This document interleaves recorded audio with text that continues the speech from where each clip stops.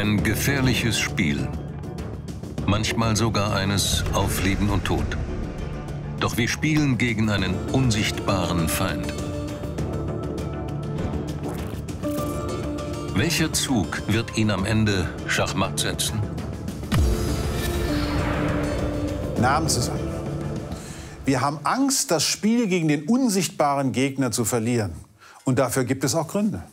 Hinter mir sehen Sie das Diagramm aller Todesfälle aus 24 europäischen Ländern der letzten vier Jahre. Man sieht die Grippewelle 2017, man sieht die Grippewelle 2018, man sieht die Grippewelle 2019 und man sieht auch den Corona-Tsunami aus dem Jahr 2020. Ich würde sagen, kein Kommentar nötig.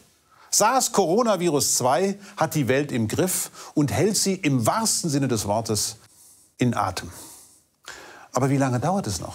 Wann kommen wir wieder raus aus dieser bleiernen Zeit? Raus, raus, raus! Und gleich, das rufen die einen. Die anderen warnen davor, um Gottes Willen, jetzt noch nicht, wir müssen noch warten. Es wird so viel argumentiert, gemeint, behauptet, gepostet und getwittert, dass einem der Kopf schwirrt. Dabei ist noch nicht mal der Ursprung des Virus klar. Kommt er aus der Natur oder kommt er aus dem Labor?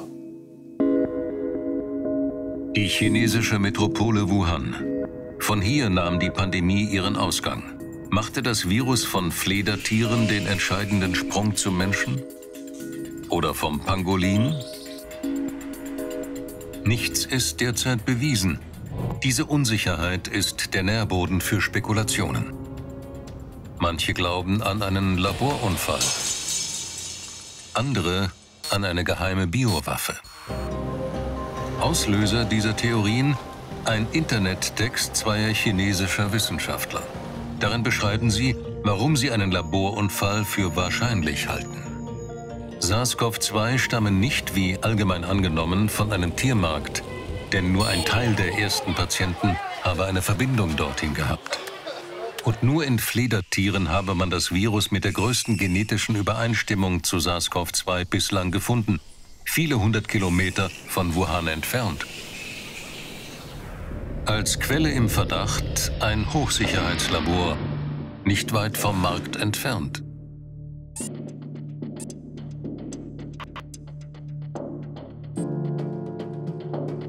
Und tatsächlich forscht man am Wuhan Institute of Virology an sehr gefährlichen Keimen, insbesondere an Coronaviren, die in Fledertieren in vielen Regionen Chinas vorkommen. Seit Jahren sammeln Mitarbeiter des Instituts im ganzen Land Blut- und Gewebeproben dieser Tiere. Ihr Ziel, neue, bisher unbekannte Viren zu entdecken. Hunderte dieser Proben haben sie bereits in ihr Labor geschafft und untersucht. Hier lagert die größte Virensammlung Asiens. Über 1000 verschiedener Stämme. Doch die Forscher haben Viren nicht nur studiert, sie haben auch neue, für den Menschen gefährliche Pathogene erschaffen. Dafür nutzten sie etwa solche Coronaviren, die nicht in menschliche Zellen eindringen konnten. Im Labor tauschten sie Teile des Erbguts mit dem anderer Viren Dadurch erschufen sie Coronaviren mit neuen Oberflächenstrukturen. Diese Viren konnten nun in menschliche Zellen eindringen. So entstanden Viren, die erst durch die Wissenschaftler gefährlich wurden. Wegen dieser Forschung glauben manche, sei SARS-CoV-2 ein Supererreger, erschaffen in einem Labor in Wuhan. Fakt ist, diese Art der Forschung, die Viren im Labor künstlich gefährlicher macht, gibt es überall auf der Welt. Grundlagenforschung, mit deren Hilfe man die Gefährlichkeit natürlicher Mutationen besser begreifen möchte. Ist der Verdacht damit entkräftet? US-Wissenschaftler haben die Erbsubstanz von SARS-CoV-2 genau untersucht. Man kennt die RNA vieler Viren und man kennt Abschnitte, die für besonders gefährliche Oberflächenproteine verantwortlich sind. Würde jemand ein Supervirus als Biowaffe erschaffen wollen, würde er einen solchen Abschnitt einbauen. Aber bei SARS-CoV-2 ist der verantwortliche RNA-Abschnitt ganz anders als alle, die man bisher von gefährlichen Viren kannte. Es muss sich also um eine neue, eine natürliche Mutation handeln.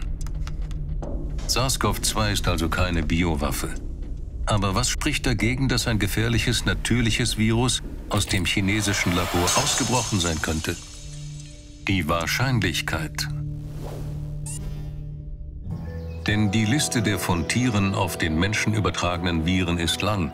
Ein Beispiel das Hunter-Virus, übertragen durch Nager. Oder HIV und Ebola durch Affen. Und auch Influenza oder das Coronavirus MERS.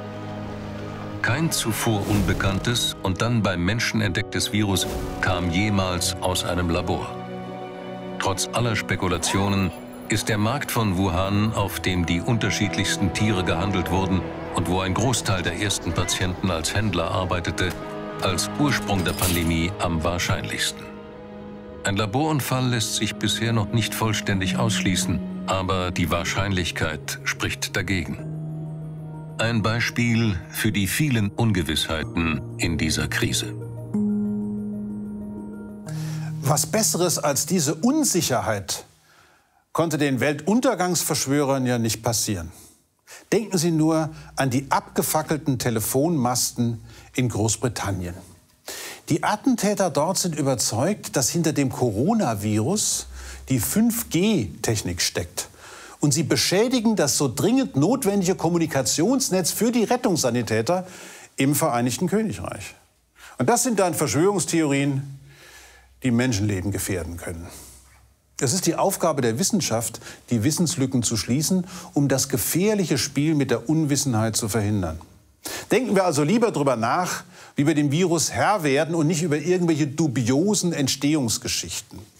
Das Virus kennt keine Nationalität, aber es ist aktiv und es muss gestoppt werden. Wie müssen wir vorgehen, um möglichst gleichzeitig gegen die Viren vorzugehen und gegen das gefährliche Geschäft mit der Unwissenheit, damit beide wirkungslos bleiben? Es gibt nur eine Antwort mit Zahlen. Wir brauchen bessere und genauere Informationen, um das Risiko einschätzen zu können. Und das war von Anfang an das Problem. Wie gehen wir mit den vielen verschiedenen Zahlen um? Mitte März führt Deutschland umfangreiche Kontaktverbote ein.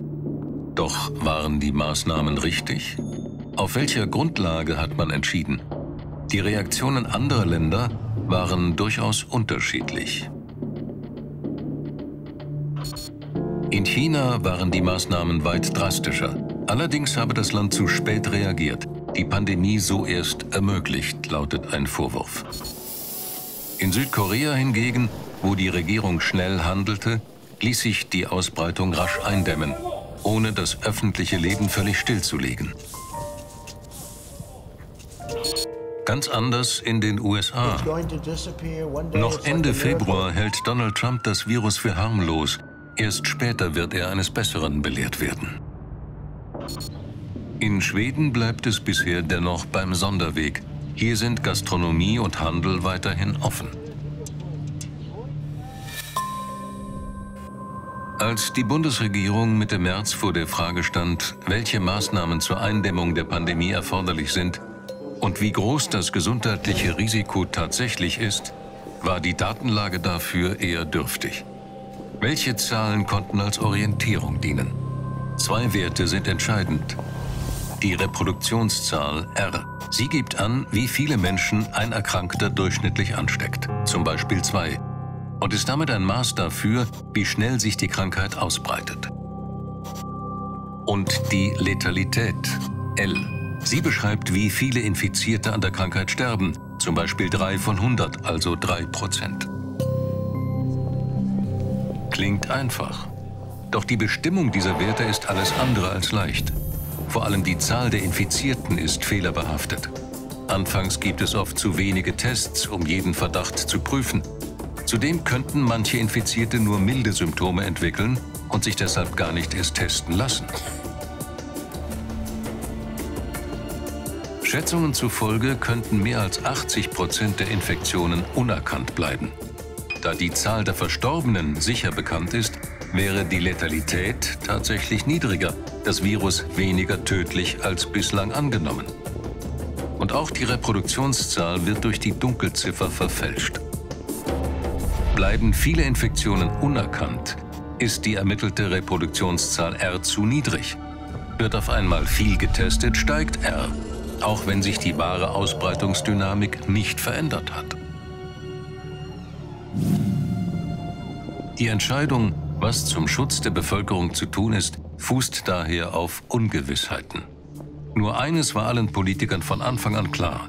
Ein plötzlicher Anstieg der Neuinfektionen wäre zumindest ein Alarmzeichen.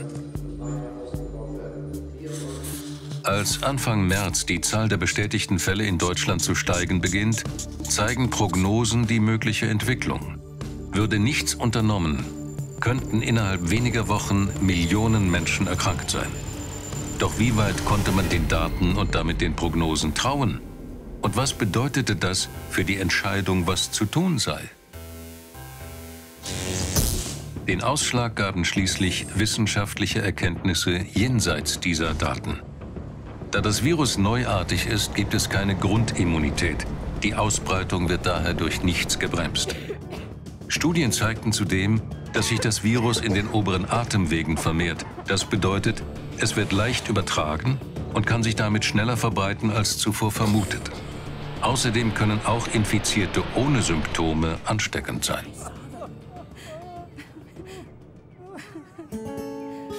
Und dass selbst die pessimistischsten Prognosen wahr werden könnten, zeigte der Blick nach Italien. Allein am 13. März wurden hier mehr als 5000 Neuinfektionen und über 400 Todesfälle gemeldet. Es galt, trotz aller Unsicherheiten in den Zahlen, eine unkontrollierte Ausbreitung in Deutschland zu verhindern. Die getroffenen Maßnahmen waren erfolgreich. Das Virus scheint sich nur noch langsam auszubreiten. Wie sich die ersten Lockerungen auswirken, muss sich noch zeigen. Die Dunkelziffer ist noch immer nicht ausreichend bekannt. Die Bewertung der Lage bleibt schwierig.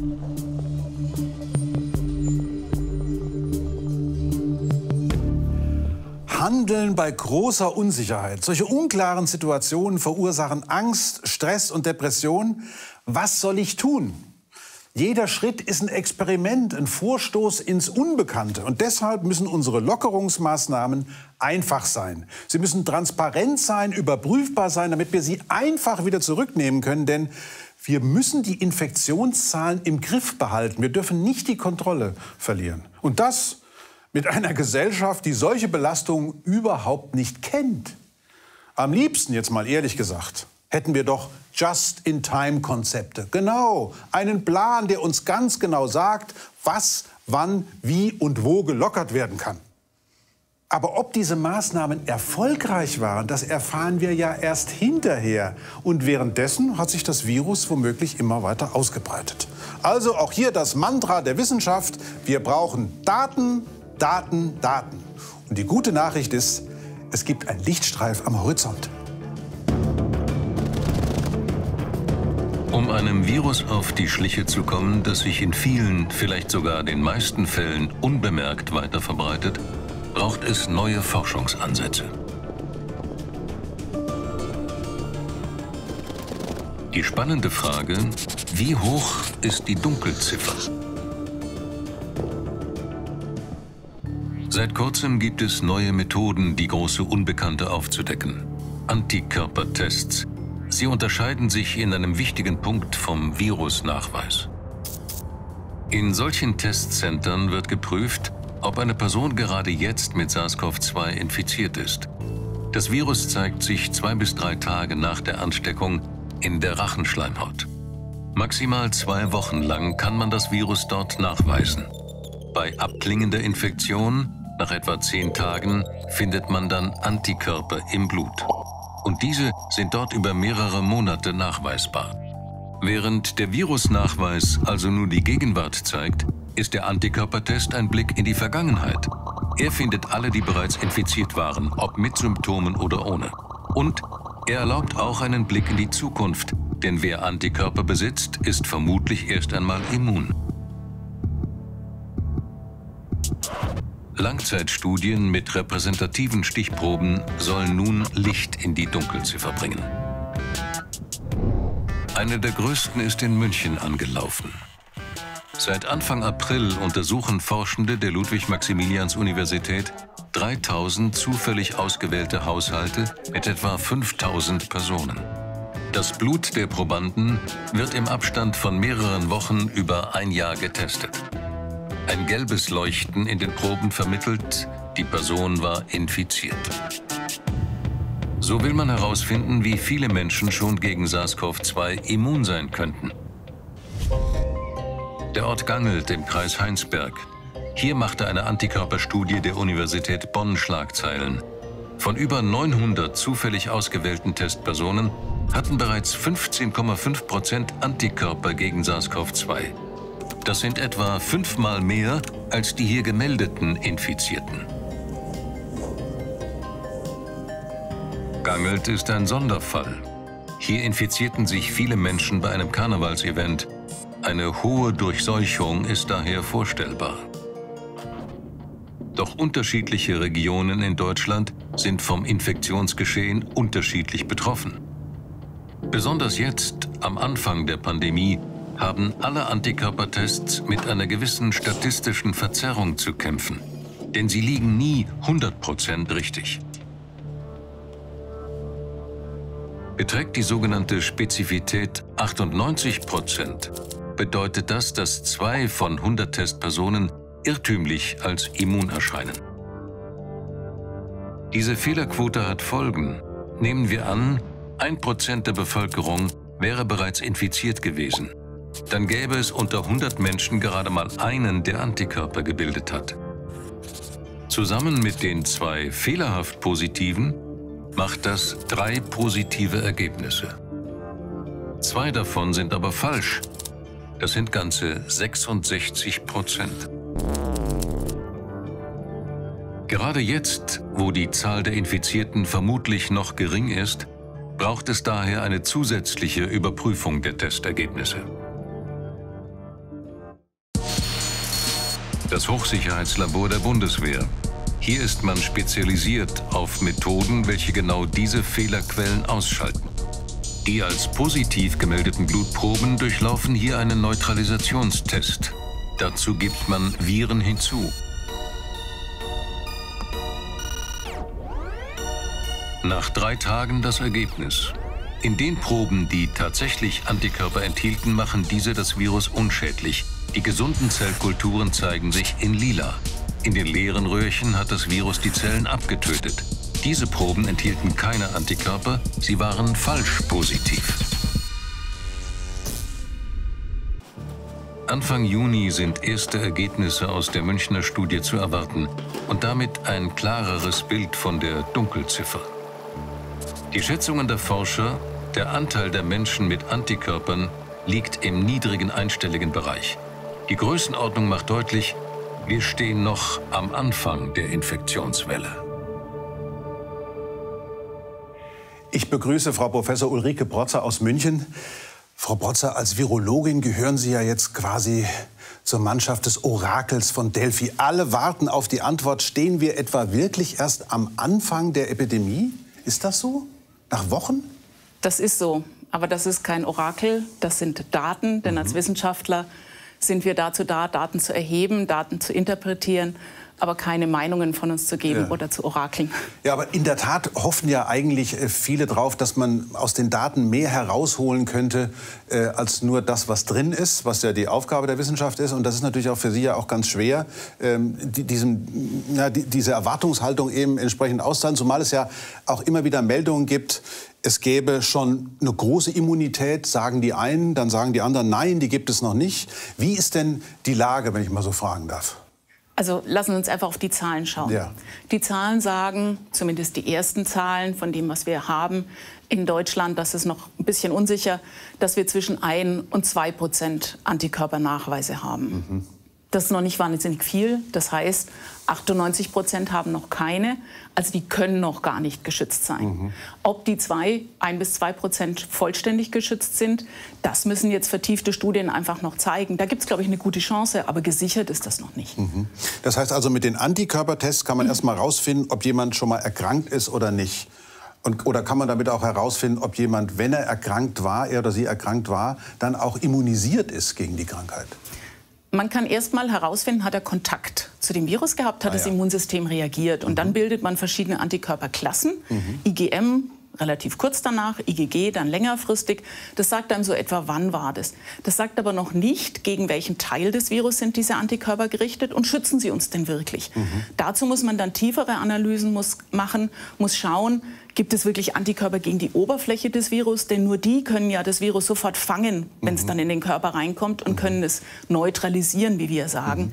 Und dazu braucht es dann ein bisschen tiefere Studien als jetzt nur die Bestimmung von Antikörpern mit einem ELISA oder mit einem Test. Es steht ja die Öffentlichkeit immer wieder vor den Nachrichten. Es gibt einen neuen Antikörpertest und es gibt ja schon Antikörpertests, die jetzt seit Wochen verwendet werden. Wie ist denn da die Lage, wenn da jetzt ein neuer Test auf den Markt kommt? Wie kann man denn das überprüfen, wie der im Vergleich zu den anderen Tests dann äh, in seiner Qualität ist?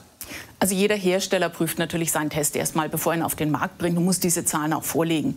Aber die sind ja dadurch bestimmt, welche welche Population nehme ich für die Testung. Das heißt, was man machen sollte, ist, dass man dann diese Tests nimmt und mit einem Satz an Testserien mal vergleichend untersucht mhm. und sich anschaut, wie für welches hat denn der eine und für welches hat der andere Test eine Stärke. Und dann kann man auch sagen, wofür man welchen Test wirklich am besten einsetzen kann und welche Parameter erfüllt er. Und dann gibt es ja neben den Tests gibt es ja diejenigen, die getestet werden. Und die, das macht ja auch einen großen Unterschied, ob man so einen Hotspot wie Heinsberg zum Beispiel untersucht oder ob man eben in der Fläche untersucht. Wie, wie, wie kann man das einigermaßen einschätzen?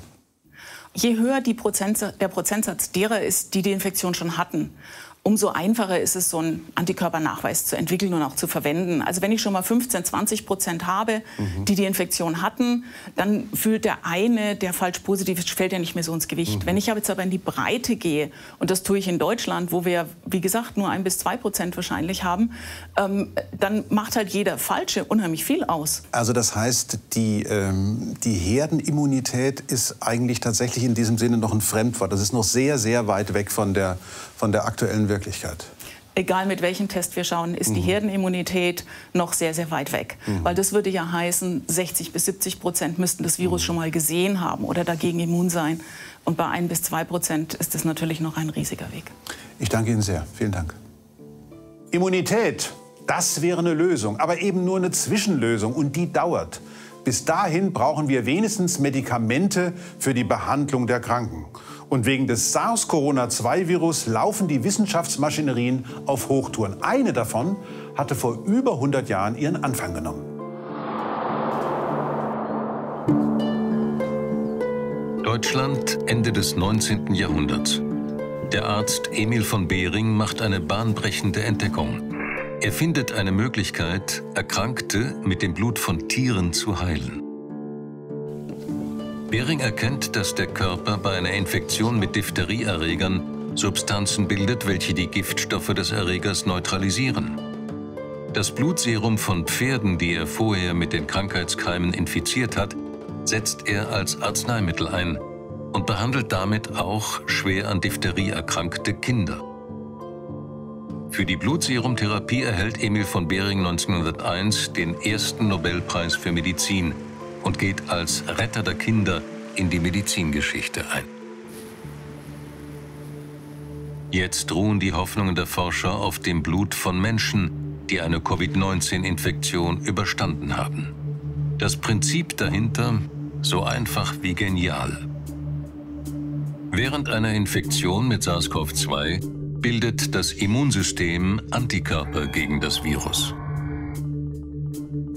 Nach überstandener Krankheit lassen sich diese Antikörper für Erkrankte gewinnen. Die wertvollen Abwehrstoffe finden sich im Blutplasma.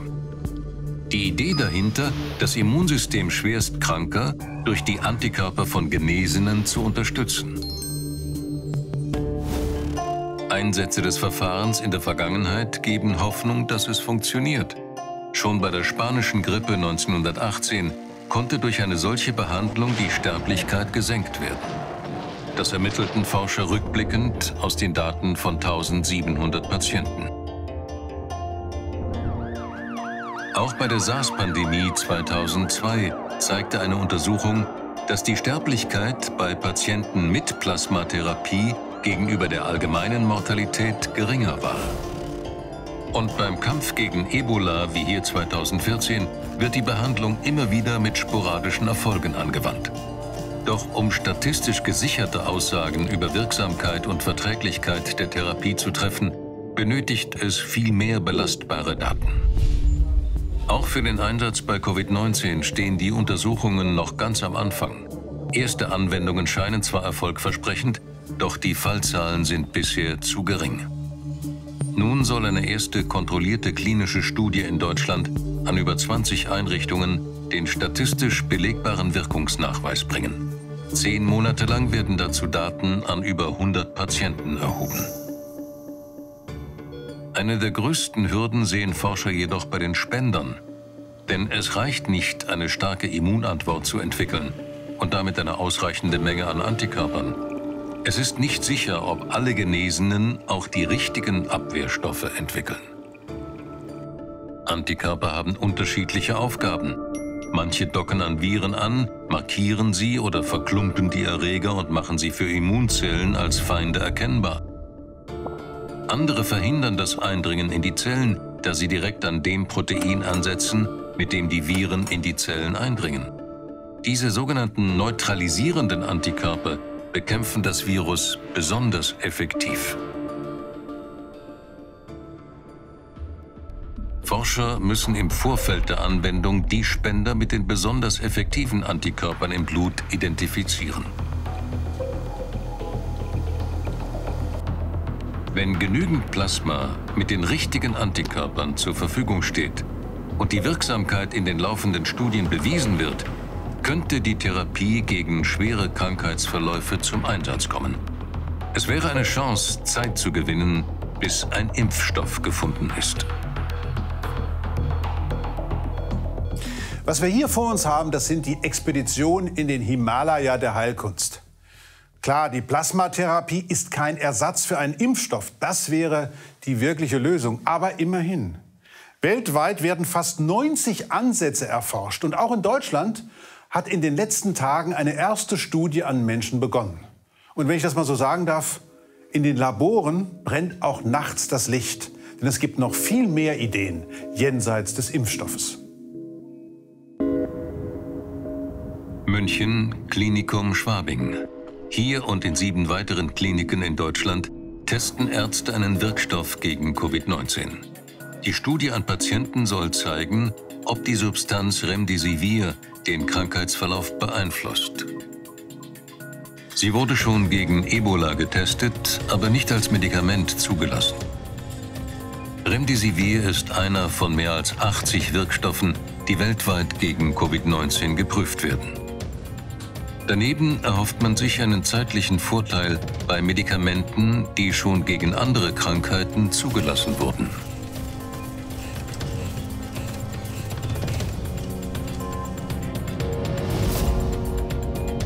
Die WHO hat die sogenannte Solidarity-Studie initiiert. Tausende Covid-Patienten sollen teilnehmen, um eine breite Datengrundlage zu gewinnen. Neben Remdesivir im Test die Malariamittel Chloroquin und Hydroxychloroquin und das HIV-Kombipräparat Lopinavir und Ritonavir. Ergänzend will man die Wirkstoffe in der europäischen Discovery-Studie an 3200 Patienten erproben. Es gibt generell nur wenige Medikamente gegen Viren. Das liegt an einer Besonderheit. Im Unterschied zu anderen Krankheitserregern haben Viren keinen eigenen Stoffwechsel. Coronaviren, hier gelb, kapern Zellen, hier grau, und programmieren deren Stoffwechsel für die eigene Vermehrung um. Viren anzugreifen, ohne die Zellen eines infizierten Menschen zu schädigen, ist daher schwierig. Beim Coronavirus sehen Forscher jedoch mögliche Angriffspunkte im Vermehrungszyklus. Das Virus dockt an eine Zelle an und schleust sein Erbgut ein. Die Zelle stellt dann unter anderem ein Enzym her, welches das Virenerbgut kopiert. Und ein weiteres, das Virenbausteine zuschneidet. So entstehen Mengen neuer Viren. Mit den verschiedenen Wirkstoffen testet man nun, an welcher Stelle sich dieser Zyklus stoppen ließe. Chloroquin erhöht den pH-Wert und verhindert dadurch womöglich das Eindringen des Virus. Lopinavir blockiert das Enzym, welches die Bausteine herstellt, so die Hoffnung. Remdesivir hemmt das Enzym, welches das Erbgut kopiert, zumindest im Labor. In Zellkulturen bremste Remdesivir die Vermehrung des Coronavirus vergleichsweise stark. Ebenso Chloroquin. Doch auf eine Wirksamkeit im Menschen lässt sich daraus noch nicht schließen. Im Münchner Klinikum Schwabing, wie in rund 180 Kliniken weltweit, testet man Remdesivir an Covid-Patienten mit schweren Krankheitsverläufen. Erste Ergebnisse weisen darauf hin, dass sich der Zustand von Patienten verbessert.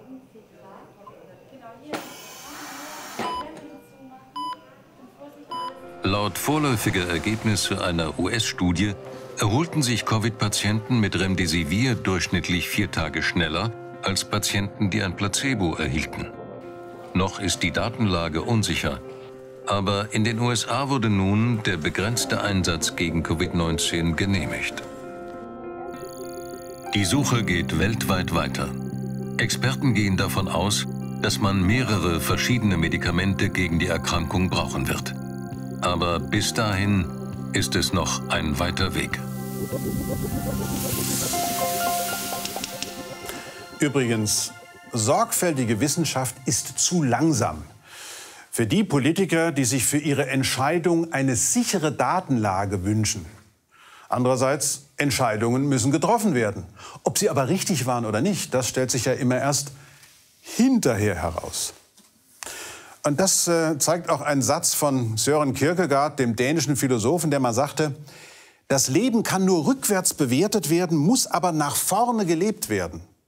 Das war im 19. Jahrhundert da stand man Epidemien noch völlig schutzlos gegenüber. Wir heute, wir haben ganz andere Optionen, aber auch unsere Maßnahmen, die zeigen ihre Richtigkeit eben immer erst hinterher. Und wir in Deutschland, wir können uns ja beglückwünschen. Wir haben ja gezeigt, wie man ein sehr gutes Gesundheitssystem vor dem Kollaps bewahren kann. Hut ab. Aber für den nächsten Schritt, da heißt es, kühlen Kopf bewahren kühlen Kopf bewahren, auch dann, wenn Gesellschaft und Politik an die Türen der Wissenschaft pochen und nach neuen Erkenntnissen rufen, damit alles ein bisschen lockerer wird. Die Kraft unserer Forschungsinstitute ist groß, aber die Aufgabe, vor der sie stehen, ist es auch. Und diese Aufgabe ist komplex und kompliziert, denn es geht um Erfolgsrezepte der Natur, die sind uralt. Und die waren immer sehr erfolgreich. Das Reich der Viren hat immer sehr erfolgreich agiert und vor allen Dingen ohne Zeitdruck. Ihm kommen wir nur mit Nüchternheit, Sorgfalt und Geduld auf die Schliche. Hier ist Zeit nicht Geld, sondern die Lösung.